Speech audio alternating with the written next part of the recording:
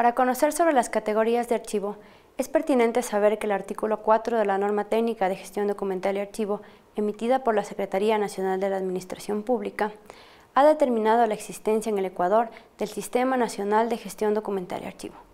Este sistema es un conjunto abstracto de dependencias y procesos de gestión documental y archivo articulados entre sí. Su finalidad es la coordinación de estrategias necesarias para la correcta ejecución de procesos en la materia.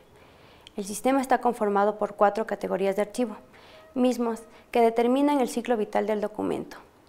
Las cuatro categorías de archivo son archivo de gestión, archivo central, archivo intermedio y archivo histórico.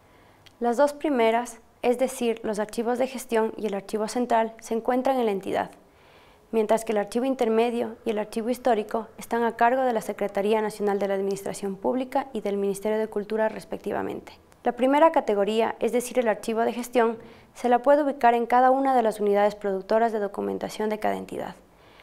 Aquí el personal recibe, tramita y genera documentos que forman parte del expediente, mismos que son el resultado de su gestión o respaldo del cumplimiento de sus funciones y responsabilidades.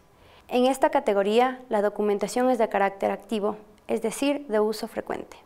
La segunda categoría, el archivo central, que también forma parte de cada entidad, es la unidad encargada de administrar aquella documentación que ha finalizado su tramitación, es decir, que corresponde a un proceso que ha culminado dentro del archivo de gestión.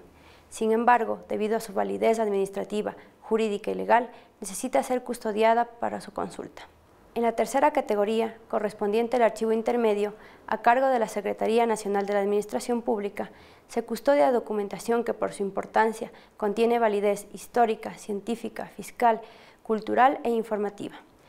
El archivo intermedio es el ente encargado de llevar a cabo una eficiente administración documental, a fin de transferir al archivo histórico aquella documentación que se considere como patrimonial y que tenga incidencia histórica para la nación.